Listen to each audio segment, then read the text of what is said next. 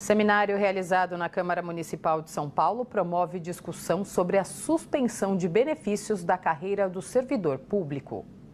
De autoria do vereador Celso Gianazzi, do PSOL, o encontro contou com a participação da deputada federal professora Luciene Cavalcante e do deputado estadual Carlos Gianazzi, ambos do PSOL além de sindicatos e confederações. O objetivo do seminário foi o de discutir o descongelamento da contagem de tempo para fins de anuênios, triênios, quinquênios, sexta parte, licença-prêmio, suspensos por ocasião da promulgação da Lei Complementar 173 de 2020 durante a pandemia Covid-19. O evento foi realizado em parceria com a Comissão de Administração e Serviço Público da Câmara dos Deputados Federais.